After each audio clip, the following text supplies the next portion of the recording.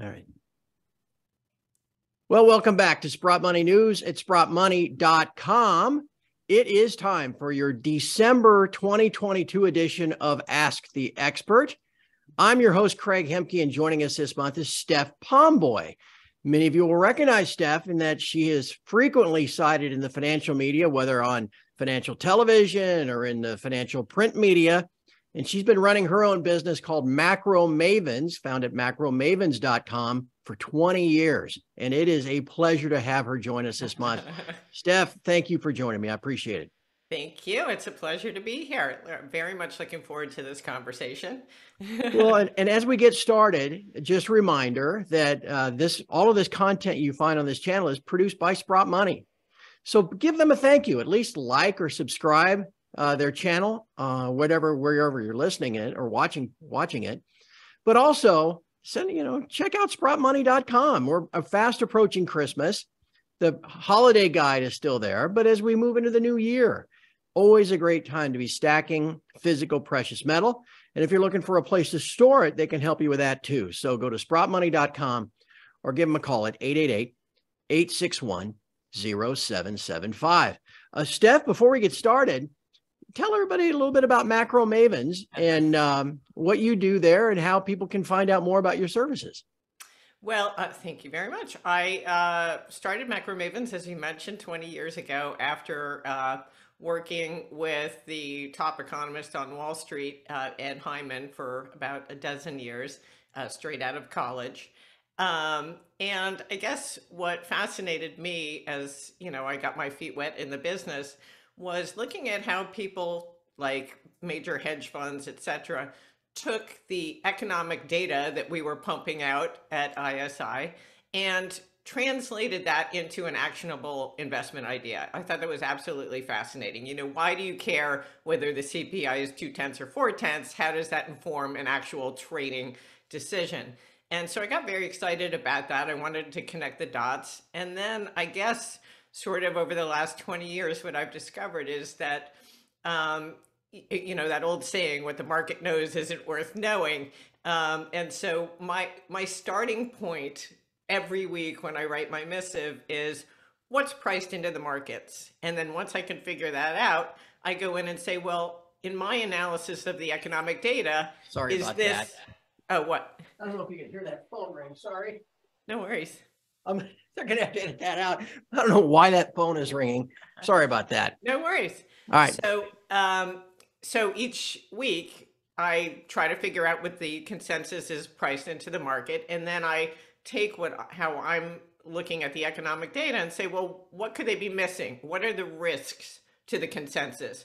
Because again, I don't need to reiterate what the market already knows. I want to highlight the unseen dangers. So mm -hmm. I mm-hmm. start from a very um, combative point, you know, where I assume the markets are wrong and I pick apart where they might be. So it's not for everyone. You know, I tend to be very contrarian and very cynical. And so I'm very uh, bruised and bloodied over the last several years. That seems to be my steady state. But anyway, that's just a brief um, overview of sort of my style and my approach.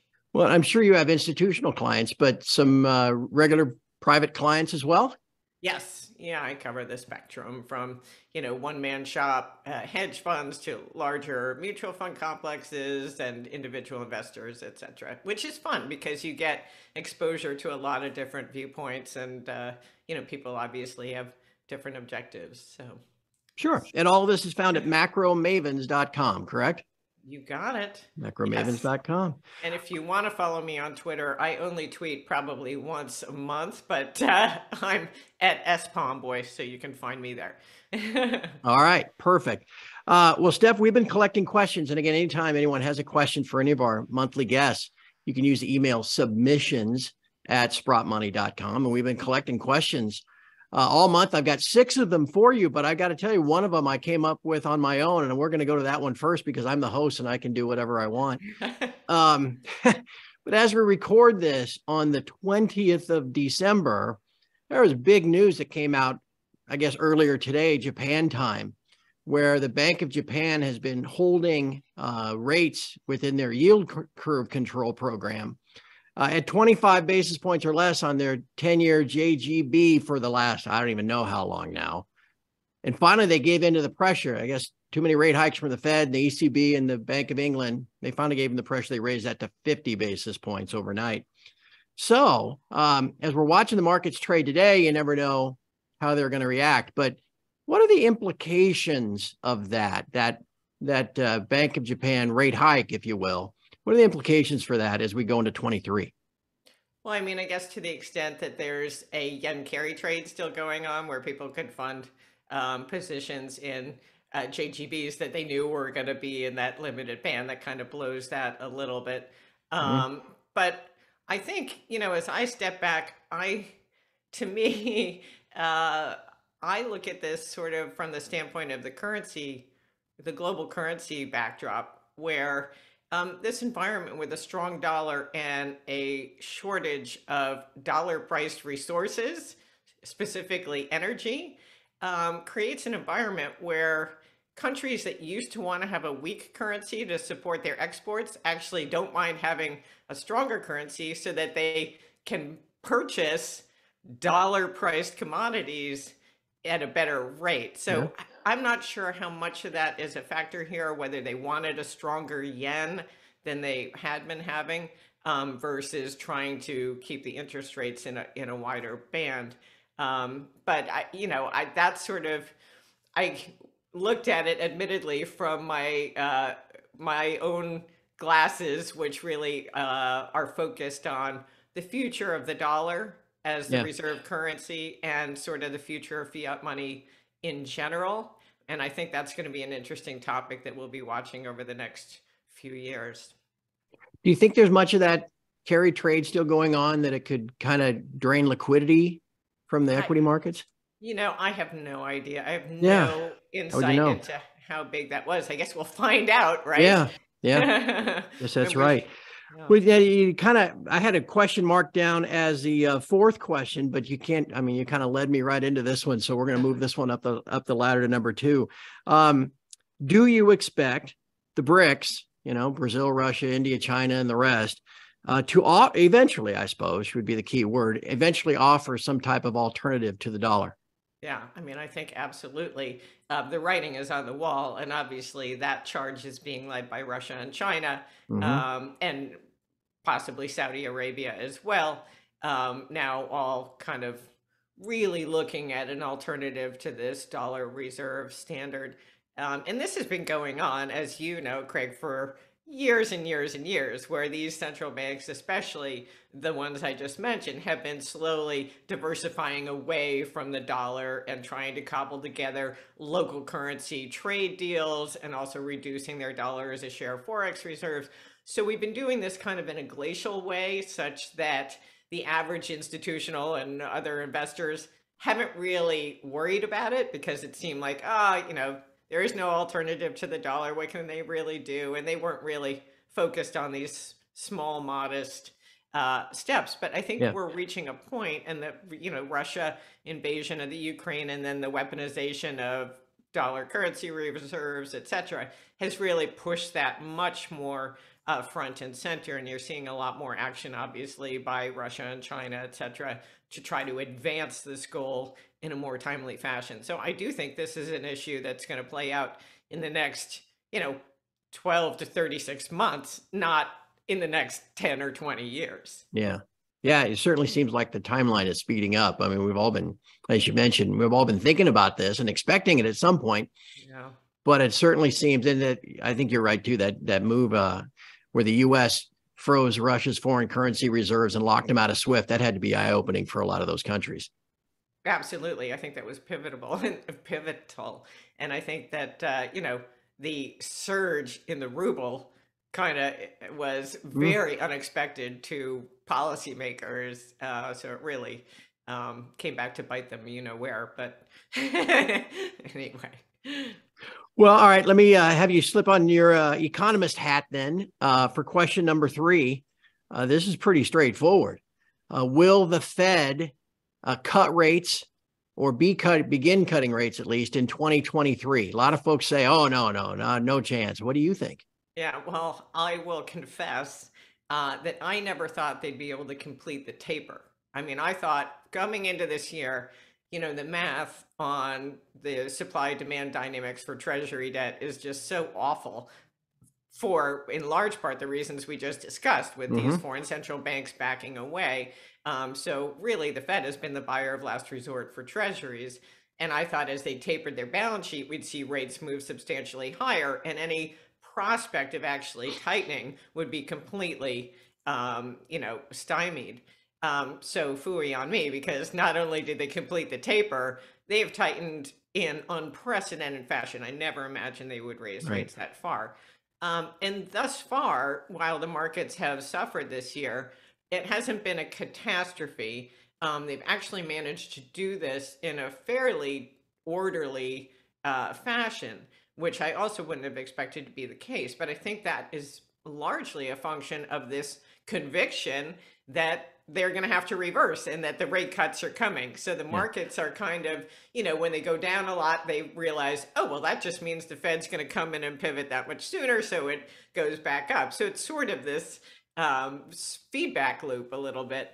Um, but so I think what it's going to take is being pounded over the head with really weak economic data. And most importantly, I think the corporate earnings picture disappointing.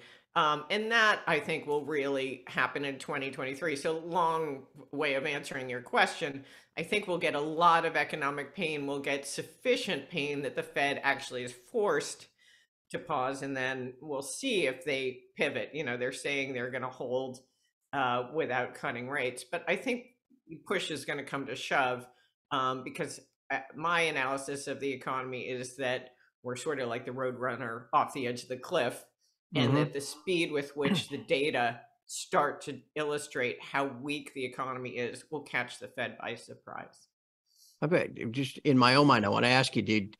I, I've been on my site talking about how the Fed over tightened because they waited too long to start tightening, and the war didn't help. And so now, are have they gone to the extreme on the other side without maybe without knowing it? A hundred percent. I mean, but this is their mo.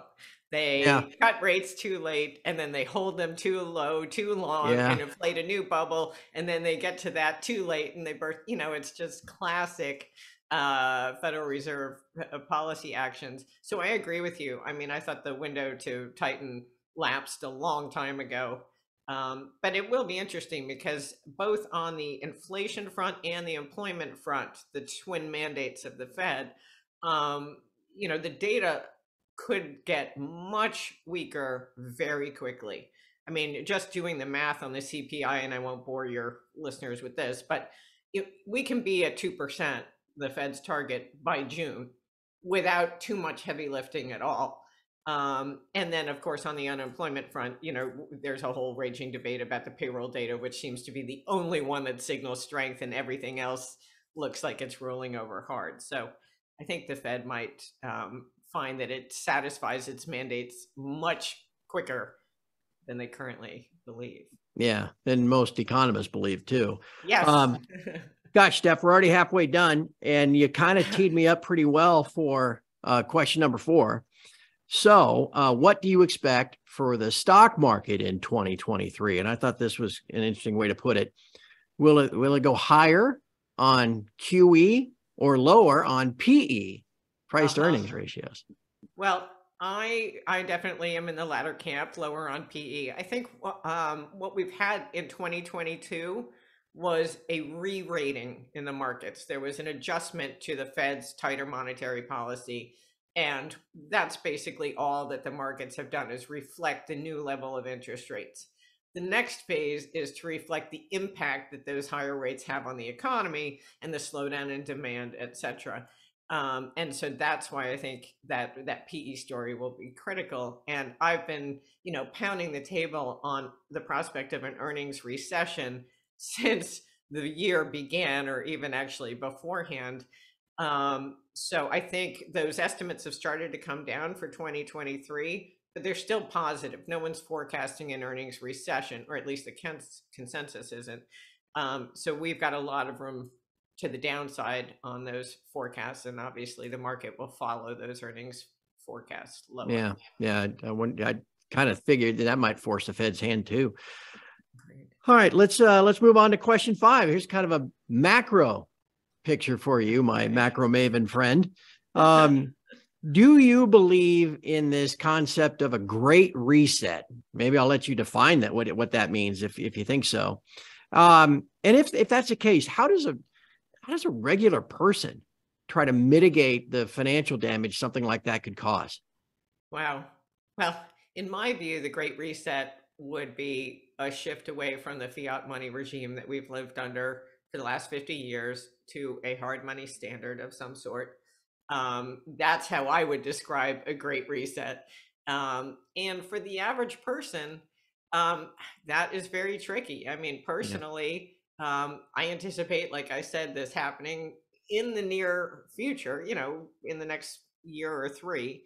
Um, and so I have uh, really tried to position myself in hard assets to the extent possible.